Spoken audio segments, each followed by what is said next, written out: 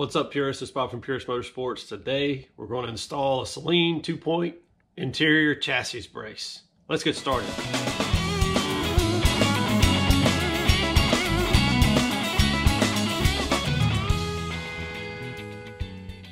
So we'll get started with this two-point interior brace. And I say interior brace, I mistakenly said roll bar earlier because it really is just a brace. It is not a roll bar because um, if the car were to roll over, it's not going to really protect much.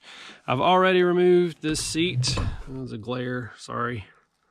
Uh, they, they just pop up here. There's on the 90 to 93s, there's these seat braces underneath here. Uh, let's get a flashlight.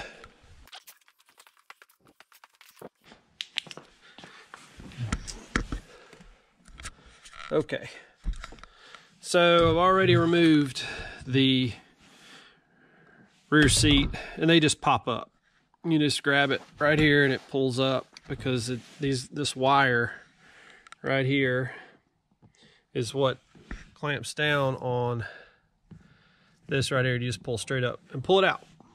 The other thing I did was I removed the little I don't know what you call it. It's not a cup holder, but tray that mounts to the bottom of the quarter panel.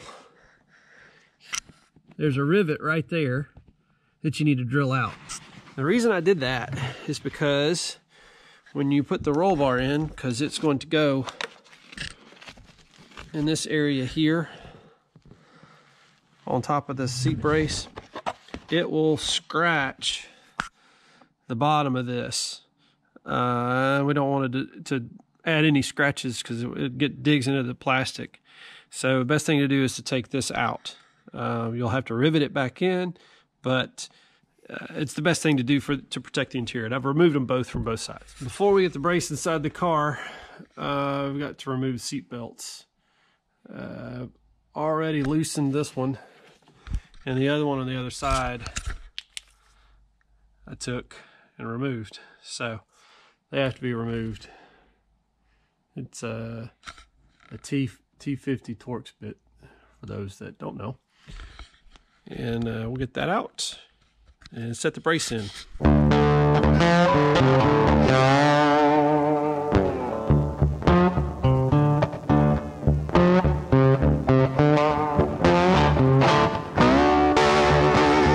Something to watch for when you're installing these. One, the seat belt will need to be routed a certain way. Two, light. If you set it in the proper place and then bring the bar up, bar up, it will contact the light. So.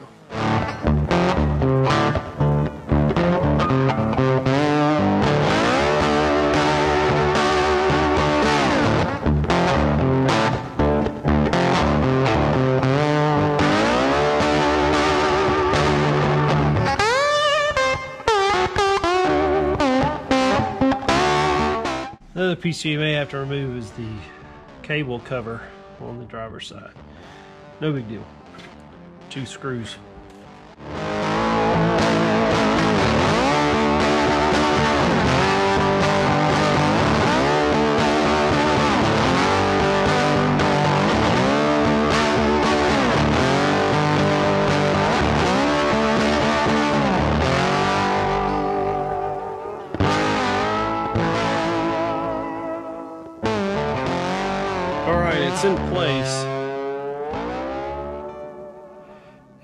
I've just got it temporarily put in. And you'll notice the bottom I'm able to swing. And both sides are that way. And that's exactly how it's supposed to be with a car that's never had one.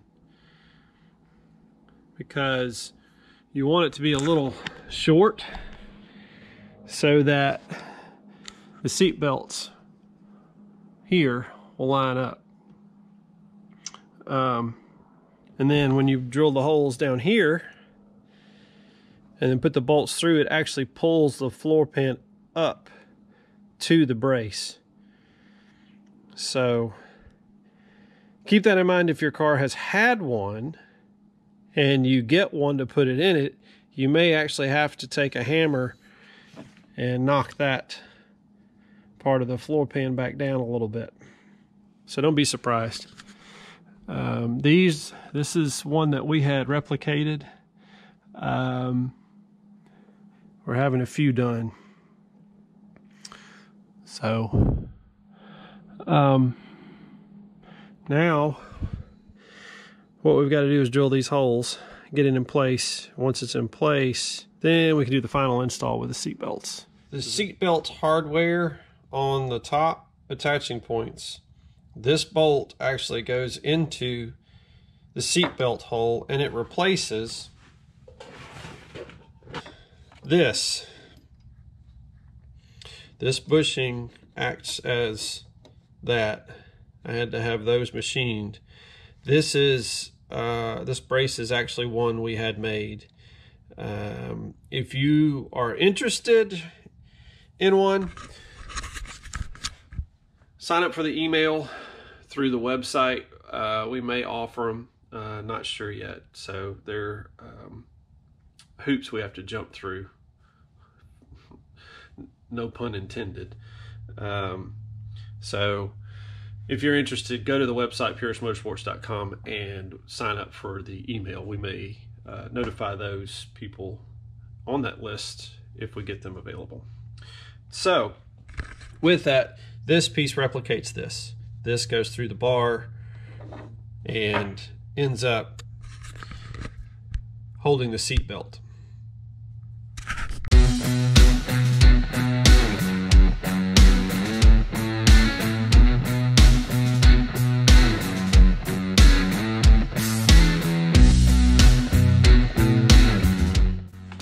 something I need to mention with this is that the car needs to be on a drive on lift or on the ground when you do this. It definitely needs to be sitting on all four tires with the suspension loaded.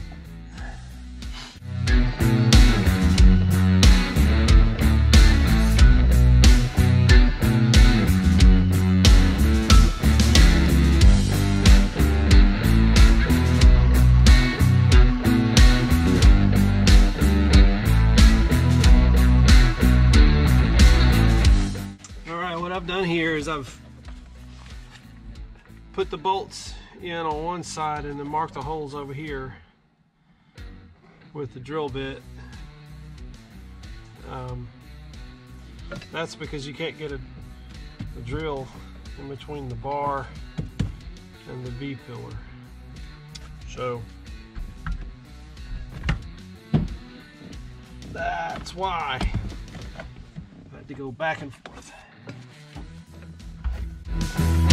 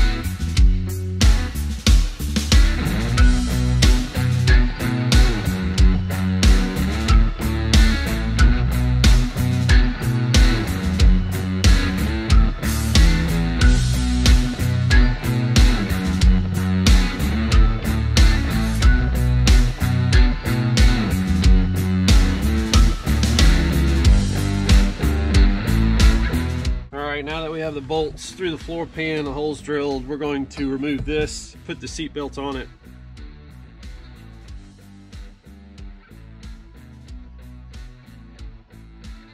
So the setup that I showed you before, the seat belt has to wrap around this way, which means this will need to be disconnected. I'm not going to put this underneath this um, because of the sharp edges. I don't want to drag it underneath the holes that I've drilled. So um, it's just best to disconnect this, which I should have done, but I haven't yet. So disconnect this, this being the seat belt.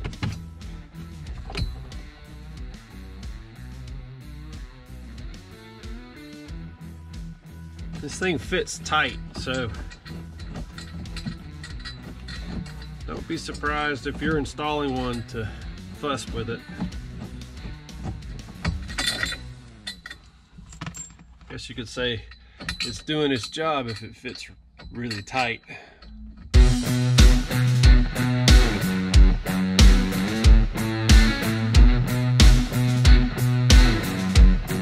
Okay, as you can see, that fits there.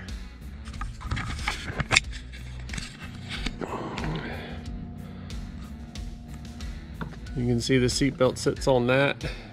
It sandwiches there and then hits the seatbelt post, whatever you want to call it, plug. It's welded into the B pillar. Now the seatbelt has to wrap around and come up here. So as you can see, I'm gonna have to disconnect this down here, pull it around and reconnect it, which is fine. But I do not want to drag it underneath this because of the sharp edges. And as you can see, I mentioned before and showed you, this is loose. What will happen is that this, this floor pan will get pulled up. And, and to that, this is really thin metal. I mean, it's not going to support this car in a rollover. A true roll cage would have big plates welded in. I know some out there have some that are angled to go over this or even land right here. So keep keep that in mind. This is just a chassis brace. It adds strength to the chassis to keep it from flexing. That's really all it is. And it's also not necessarily the most safest thing on the road because that you're putting a metal object inside a car.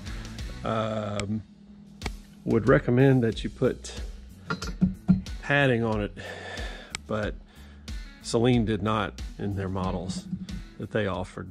This particular style was first offered in the 89 SSC in a four point version.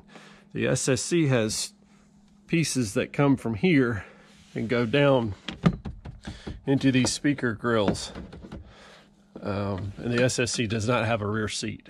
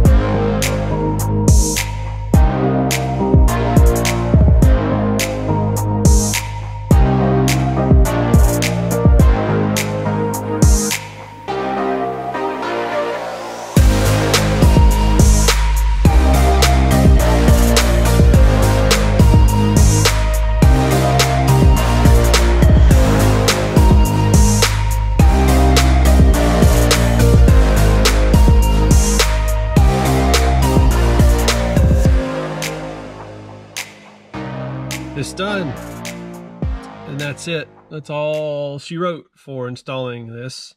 Uh, if you have any questions, be sure to make comments below. I may have missed some things, or there's some things that uh, well, you you may have better ideas of how to approach the steps in doing this. But I really appreciate you watching. The well, you can tell this is really made it solid. The door's shut better already, tight. You can just tell, and um, it keeps, as you saw, the factory covers on it, and um, so it's a it's a nice piece. And again, it's it's just a, a chassis brace. It's not really a roll bar, um, although everybody calls it a roll bar, including myself. But um, uh, be sure to go to puristmotorsports.com, sign up for the email. It's possible that we may have some of these um, reproduced to sell outright. I'm not sure that we'll be able to do that. Um, we're just doing them for clients' cars as needed right now, but um, we could have some available in the future. And if that happens, we will email people on that list first. Uh, so highly recommend do do that. And while you're there, be sure to check out the store. We've got some designs there for just for Saleen owners and some other things we're doing, favorite cars of ours that uh, we enjoy. Don't forget to like, subscribe, tag, and share. Really appreciate you watching. And as always, whether you're driving them or restoring them, Always enjoy them. Peace.